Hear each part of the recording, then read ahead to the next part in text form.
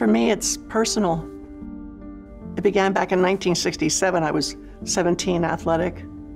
One summer day, I went swimming in the bay with my sister. I swam out to this raft anchored a few yards offshore, took a reckless dive into shallow water. I knew then my life had changed forever. My doctor said, Joni, you're going to be paralyzed for the rest of your life without use of your hands, your legs.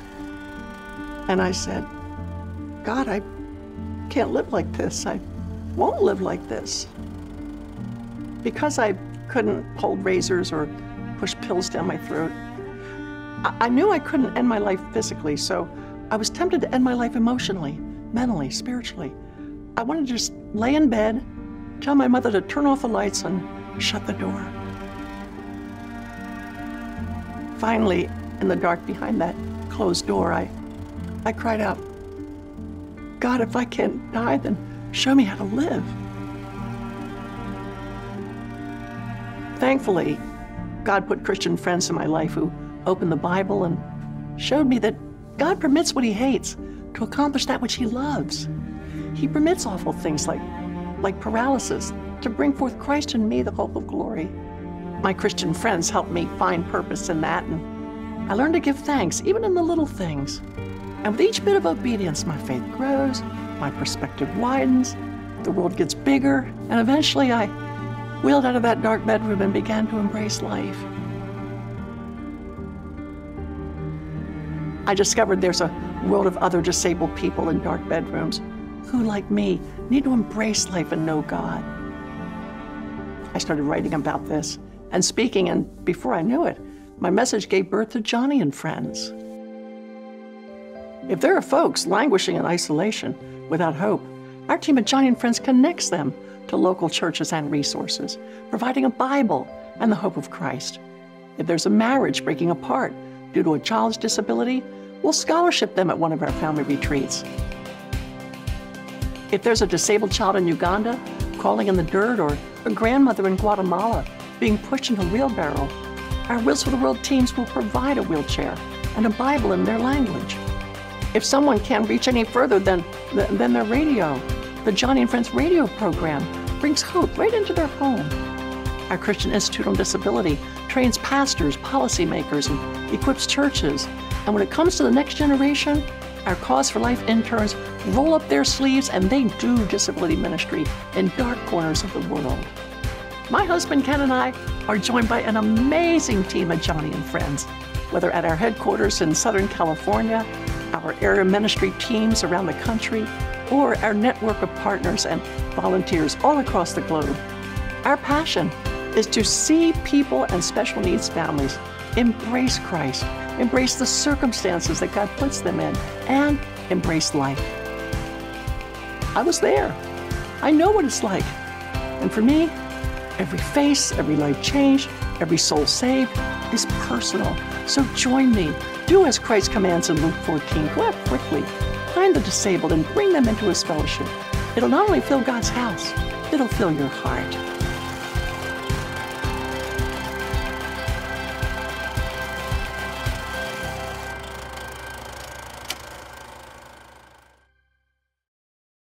Oh, Nancy, and all my friends here at this True Woman Conference, thank you for inviting me to be with you this evening. And I would give anything to be here in person.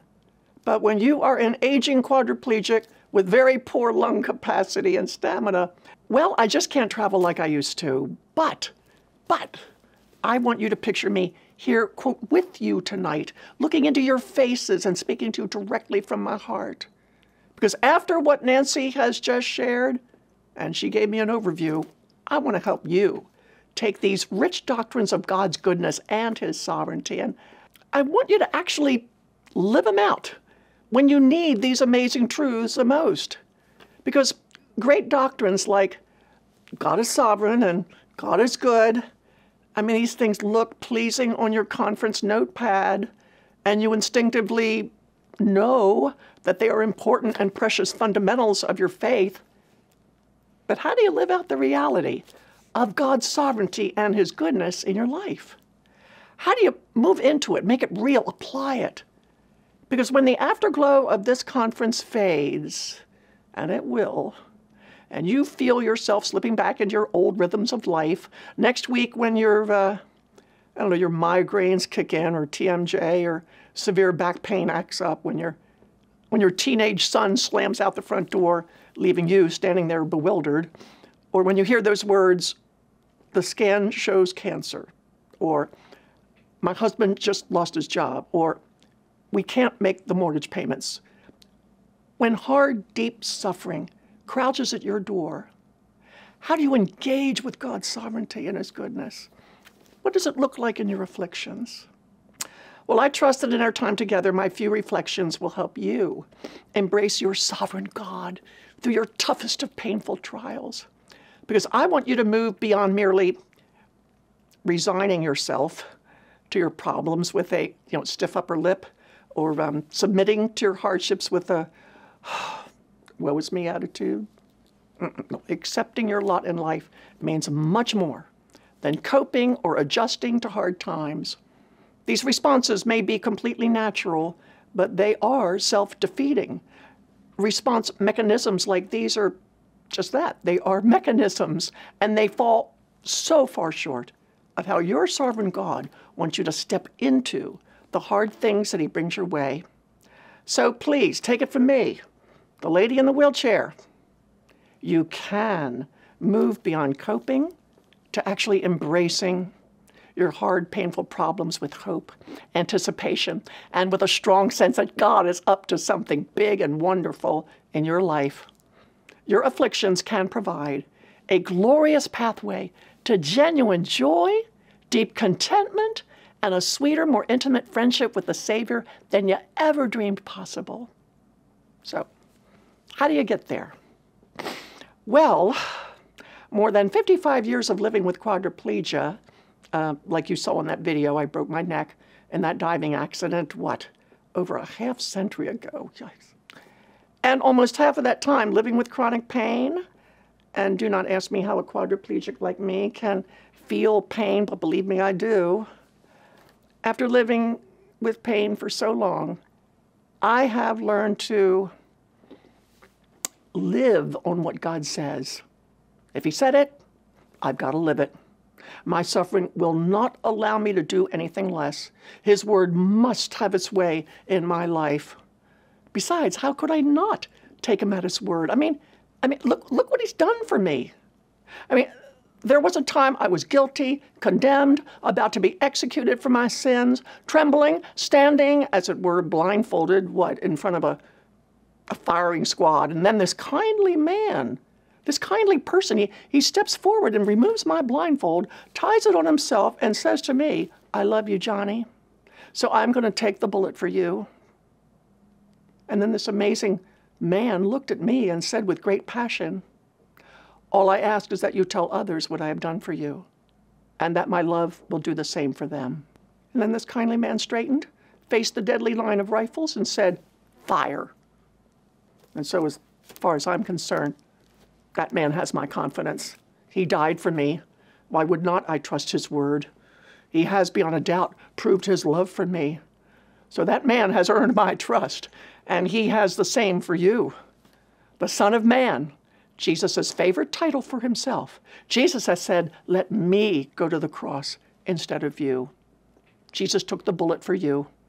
And so, we listen up when he speaks. We live on what he has to say. And when we suffer, there must be good reasons. His word is filled with comfort and strength, guidance and hope and encouragement. And our Savior extends a very special assurance that helps those who suffer even thrive. It is an assurance that I cling to every single day. Psalm 119, verse 50, let me tell you, it says this This is my comfort in my affliction, that your promises give me life. Okay, for you who suffer hard, God has a special comfort for you.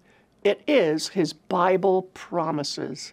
Every blood bought promise in God's Word imparts life, gives grace, energy, strength, power. Every Bible promise gives assurance that you can survive in your afflictions, that you will make it through the worst of hardships, and that you can even flourish.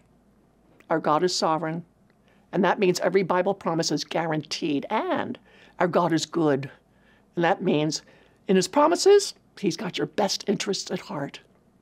When you live on Bible promises, you are resting your life in the hands of your good and sovereign God. And although a painful trial may not seem good at the time, God pledges to you, He's got a promise for you. In Jeremiah 32, verses 40 to 41, He says, quote, I will never stop doing good to them, and I will inspire them to fear me, so that they will never turn away from me. I will rejoice in doing them good. Oh, friend, clinging to a promise like that, you're in the safest place in the universe. You have tucked yourself in the cleft of the rock. You are in the shelter of his wings, in the shadow of the Almighty. Living on God's promises is the surest way to bring the greatest glory to your God and Savior. And it's the way I live in this wheelchair. It's the way I live with pain. It's the way I trust my sovereign and good God. Okay, so let me show you what living on his promises looks like, okay? Um, this past summer, Ken and I had a chance to spend a few days up at a friend's lake house in the Sierra Mountains, and I really needed the rest, and so did Ken. It had been a busy season at our ministry at Joni and Friends, and we were both weary. Um, Ken was tired from nonstop caregiving. And so when we arrived at the lake house, I insisted that he take the bedroom at the far end beyond the kitchen while my helper stayed down the hallway uh, with a um, like a, a baby monitor between our rooms. That way, if I awakened in pain during the night, I could call for her as she was helping me get ready for bed, though I noticed a large slatted wood plaque hanging on my bedroom wall. This is an actual photo of that very plaque. And I admired it. It was a calligraphy of Joshua chapter 1, verse 9, where God says, Have I not commanded you? Be strong and courageous. Do not be afraid. Do not be discouraged, for the Lord your God will be with you wherever you go. I remember being comforted by that verse as my friend put me to bed, raised me up on my side, and tucked pillows behind me, getting me as comfortable as possible, um, what with my pain. She left and closed the door on her way out, and as she went down the hallway, I almost called for her to come back and just, you know, leave the door ajar. But then again, if I did need her, I could call her in her room using the monitor on my bedside table. So I drifted off to sleep. But at 1 a.m., I was jolted awake by excruciating pain. Um, it happens a lot at night, given that I don't move and must lay in one position. Um, in the dark, I could see the tiny green light on the monitor, and so I called softly for my friend to come help me reposition my hips. When she did not respond, I called again. And then a little louder. I reasoned to myself she must be sleeping very soundly. And so I yelled, but no answer. After a few minutes, my pain was really piercing. I said, Lord, I'm never going to make it to morning laying here in this position in so much pain. Please, please help me wake her up. And that's when, in the dark, I drew a deep breath and I screamed, Help! Help me! And the house was silent. Now my heart was racing because I was in terrible trouble, lying paralyzed in one position, stiff, knowing that morning was hours away. But before panic seized me, I recalled that promise on the slatted wood plaque, Joshua 1, verse 9. And so I prayed, Jesus, it's a promise. You tell me to be strong and courageous uh, you're going to be with me. And I need you to make good on this verse. Please help keep me keep anxiety away and, and, and to have courage. My head scrambled to remember other promises. And suddenly, Psalm 18, verse 6 popped to mind. Um, I'm so grateful for all the verses I know by heart. It says, quote, In my distress, I called out to the Lord. I cried to my God for help. Well, being one who takes the Bible literally, God was telling me here to cry out to Him. And so, lying in bed on my side and facing the wall, I cried out every Bible promise I could think of. I screamed them, hoping that my helper would hear me. Lord, you are my ever present help in this trouble. Your grace, I'm screaming, is sufficient. Your name, Jesus, is a strong tower. But still no answer. No response from my helper.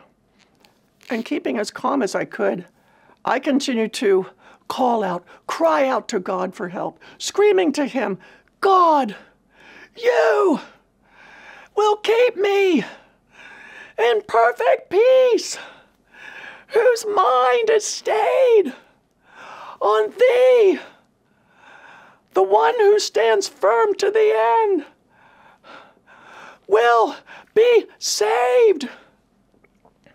I love the Lord, for He heard my voice.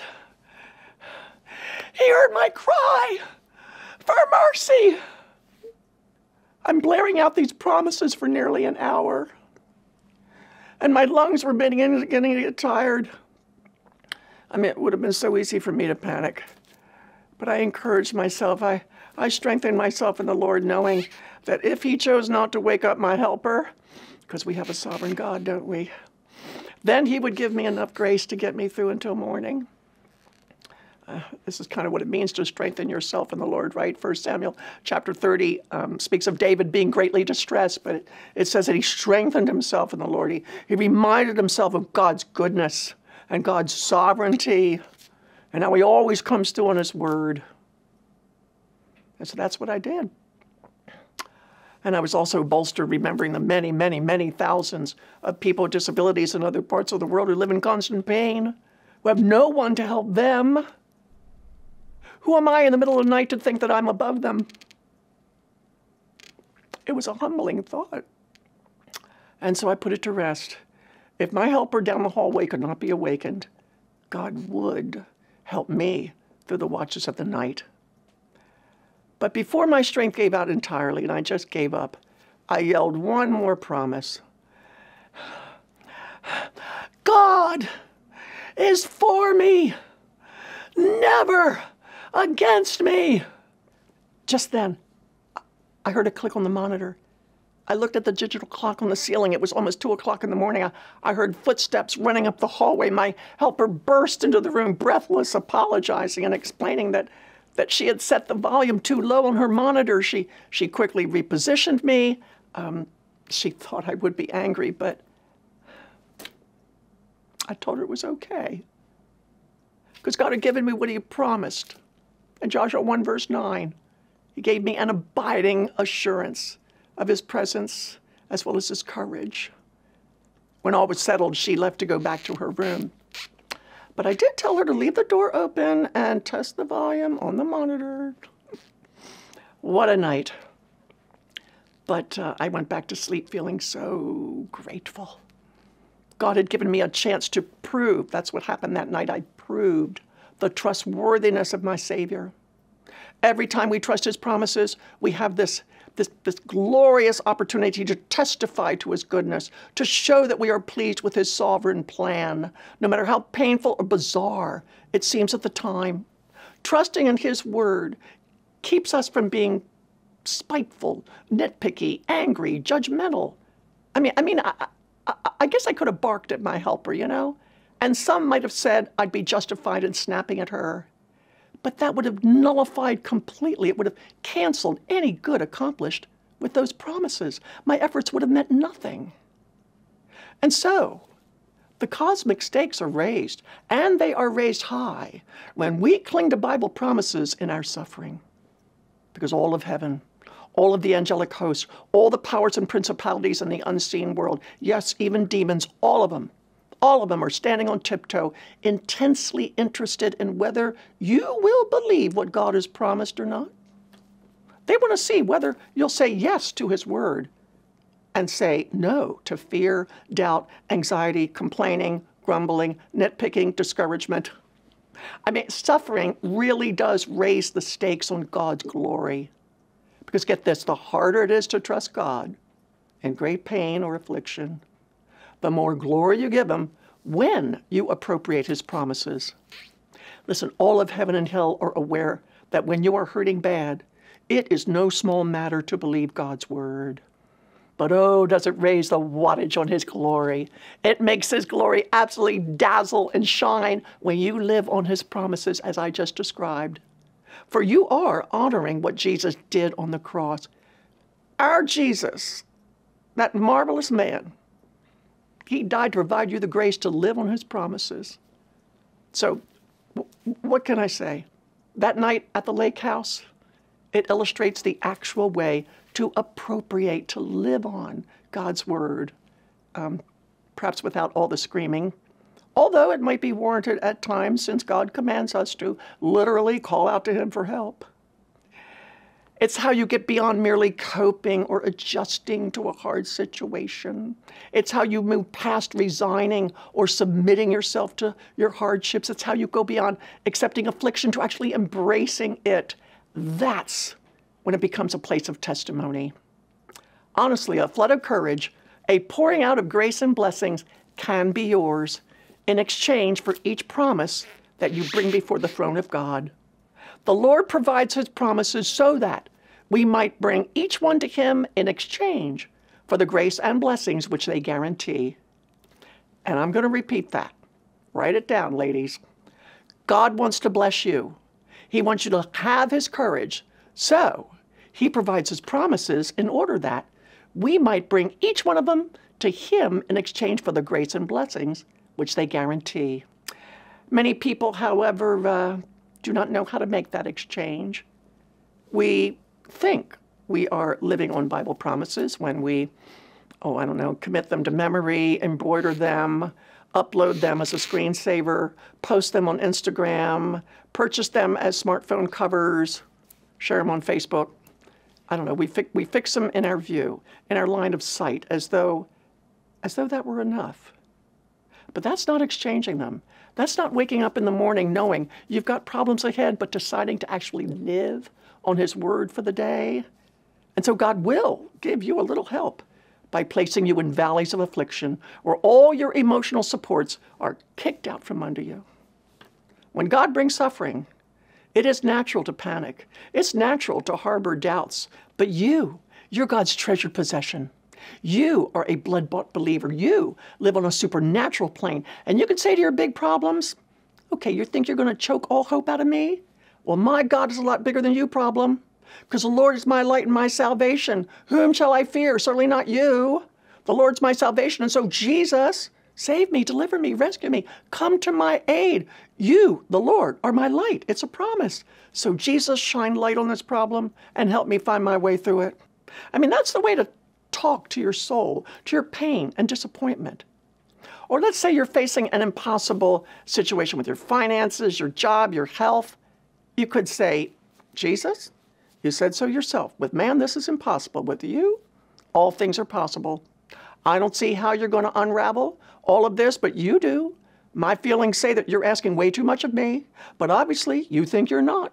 So I'm going to trust you and not my feelings because you promise that with you, Jesus, all things are possible. Friend, this is what it sounds like to live on the promises of God, the Word of God. And I'll tell you a secret. It's a really great one. In 1 Corinthians 10:13, listen to this. It says, quote, "No temptation has overtaken you except what is common to mankind, and God is faithful. He will not let you be tempted beyond what you can bear, but when you're tempted, he will also provide a way out so that you can endure it. Friend, God promises that every temptation, that is, you know, every time you want to doubt, every time you feel like caving into suffering, every time you're tempted to think God's not being good or you want to become discouraged, those temptations, according to 1 Corinthians 10:13, they come with a way out so that you can endure them. And exactly what is that way out or way of escape as some translations put it?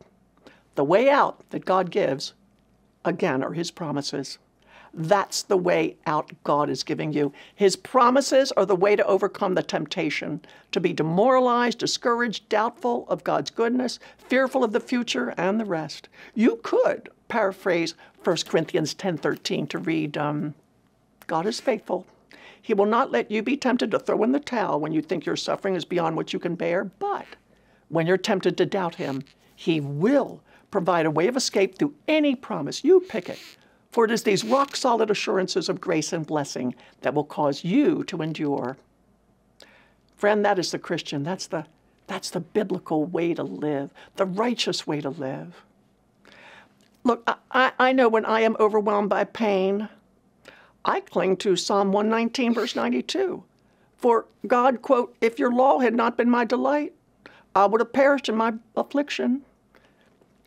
That night in the lake house, I did not perish in my affliction, all because of God's law, His word, His promises.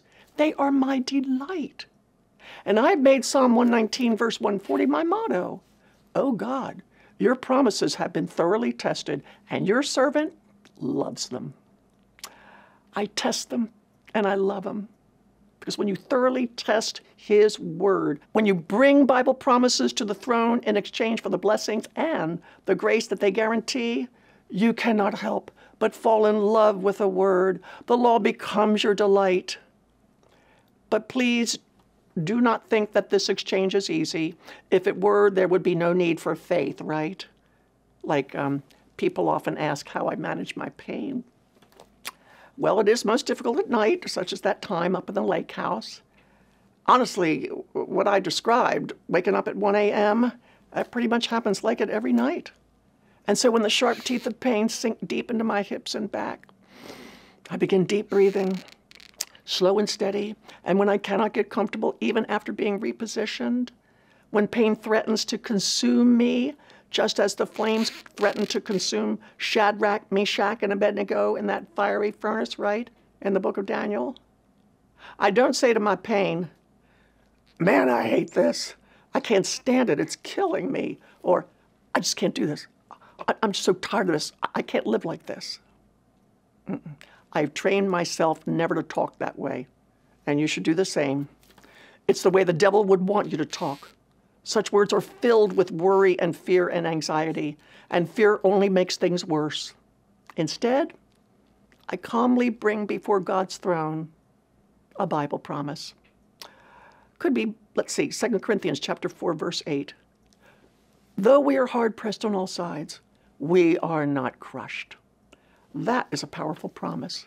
Because pain can press you hard in on all sides, tempting you to think that you're about to be crushed like the Apostle Paul said about his troubles in 2 Corinthians, he said he was under great pressure, far beyond his ability to endure. I'm sure you felt that way.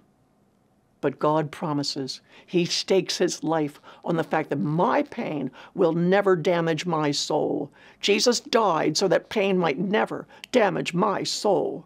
And that's why I can bring that nasty pain before the throne, asking Jesus to meet me in it, to not let it crush me. And so the Son of God never fails to meet me, just as he met Shadrach, Meshach, and Abednego in that hot furnace of fire. And what does Jesus say to me in that agonizing place? He says, Joni, I'm so glad you remembered 2 Corinthians 4 8. It delights me when you come to me with your pain, and honey, it's not going to crush you. I'm here. I'm with you. Don't worry. When you walk through the fire, you're not going to be burned. The flames will not set you ablaze, for I am the Lord your God, the Holy One of Israel, your Savior. Sweetheart, I made you and I will carry you. I will sustain you and I will rescue you.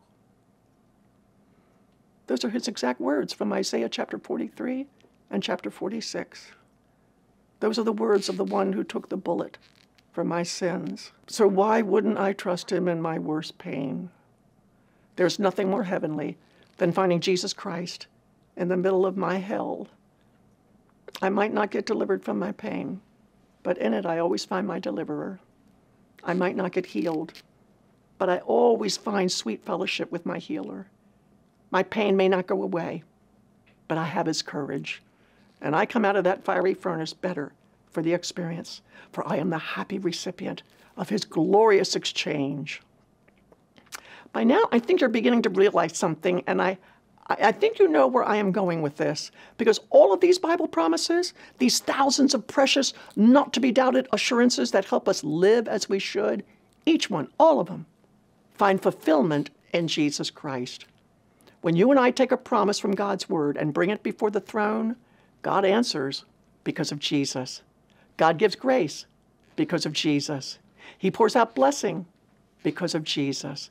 Every promise is wrapped up in him, as 2 Corinthians 1, verse 20 says, For all the promises of God are yes in Christ. And so through him, our amen has spoken to the glory of God. God promises you life and life abundant, life joyful, life courageous and meaningful, life that's rich with peace and power and glory to God, all because Jesus made the way. He is your way out. He is your way of escape. He promises that when you are tempted. Maybe at one time you were God's enemy, but uh uh through Jesus Christ, God is ready to lavish on you all grace and blessing as a way of showing you how much He loves His Son. And every time you live on a blood bought promise from the Bible, it is your way of testifying to 2 Corinthians 1:20. It is your way of saying amen. So be it. Thank you, Jesus. And may the way I rely on your word bring you ever increasing glory to our Father. Hear me on this. You can look deep into the stern countenance of your worst suffering, and you can enter into it unafraid. You can enter the deepest and most horrific recesses of the affliction, and you can defang it of all of its terror. You can do it because the Lord Jesus has gone ahead of you into that awful place, that, that place of cancer, that place of stroke, of a failed marriage, that place of financial ruin, Lyme's disease, rejection, disability, chronic pain, whatever. Jesus has gone ahead of you, and He's entered it, and He has transfigured it to be the inner sanctum of sharing in His sweetest fellowship of suffering, that glorious place of wonderful union with Him. The next time you go through hell, remember that Jesus has gone ahead of it and already entered it, and you can meet Him in it and not be crushed. It's just one of his many promises you can rely on. Nancy Wolgemuth has written an excellent book called uh, Heaven Rules, and I love what she says about it. She says, quote, Heaven rules is active theology. It goes with us into our day. We pack it for the road. We keep it in our carry on baggage. We pull it out and use it all the time. That's what I do. Daily, I pull out the promises of God and I use them. They give shape and definition to not only my life in general, but they give specific shape to my days. I wake up. You got to choose a Bible promise to live on for the day. Let's say I feel weak and in need of strength. I could choose 1 Chronicles 16 for the eyes of the Lord range throughout the earth to strengthen those whose hearts are fully committed to Him. Then throughout the day, I'm aware that God is working to strengthen me.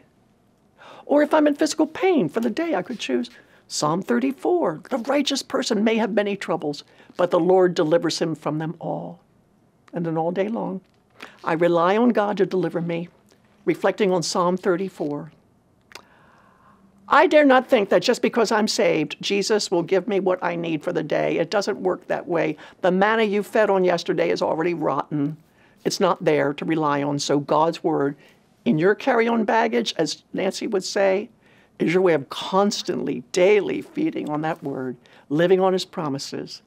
And I shared earlier, this is the Christian way to live. A promise a day keeps me from falling into a, a vague, ambiguous approach to life. A daily promise becomes a plumb line for my attitudes and actions. Starting every morning with a Bible promise adds such value to my day helping me make the most of my opportunities, build character, glorify God. Everything about life must be a yes in Christ, yes and amen. All the promises that God has ever made find their fulfillment in Jesus. You know, aging with disability, a severe disability, is not easy and it's getting harder every day. My bones are so thin and tired, my lungs are weak.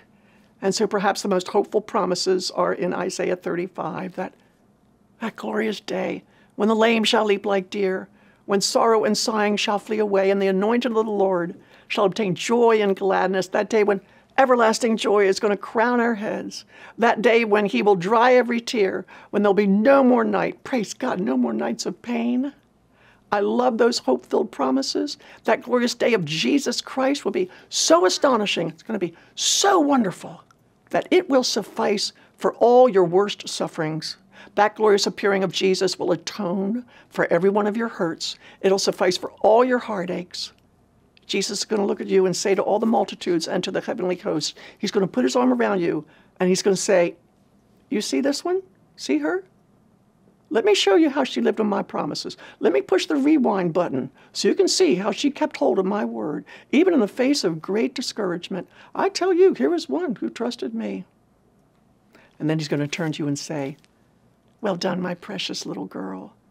Now enter into the joy that I have prepared for you. For you are my treasured possession, and you have won my heart. Well, I want to hear that, don't you? And man, I don't want to do anything sinful or foolish or slothful down here on earth that might minimize that moment. If anything, I want to enlarge that moment with more confidence in Christ and in God's Word. I want to enter into the greatest possible joy that my Master might have for me. Ah, And I want the same for you. Jesus is ecstasy beyond compare. And when you hold fast to God's promises, it makes a difference for all of eternity. 2 Corinthians 4:16 speaks of that enlargement of joy. For your light and momentary affliction, if you would but trust Christ in it, is producing for you an eternal weight of glory far beyond comparison. Applying God's promises to your suffering produces, it grows, it enlarges your weight of glory in heaven. And I want you to look at Jesus and quote to him directly from Psalm 119. Ah, Jesus, this blessing has fallen to me that I have kept your precepts. So, God forbid that you and I should waste our salvation by wandering our way aimlessly into the future, like, uh, okay, so I'm saved, whatever. Don't go through life with a vague, ambiguous approach to problems. Do not diminish your eternal estate with a mediocrity that relegates God's promises to nothing more than a, a, a slogan on a t shirt. Life's too short for that. Cosmic stakes are too high. The blood of Jesus is certainly too precious. One day, your faith isn't going to matter. Your chance to believe will be over. The opportunity your suffering will have provided you will be a thing of the past, and in a flash, you'll be with Christ, standing before your Savior, surrounded by the angelic host, pressing in line with the great possession of the saved, streaming through gates of pearl, an infinite cavalcade from earth's wide bounds and ocean's farthest coast, all of us in one joyous parade, countless generations, lifting our crowns before God and shouting, Hallelujah! For the Lord our God Almighty reigns. Let us rejoice and be glad and give him glory. I want to work toward that day, strive toward that moment. I want to be able to look at my Savior and quote to him Psalm 119 Jesus, your promises have been thoroughly tested, and your servant loves them. Aim high, friend. Aim high in life.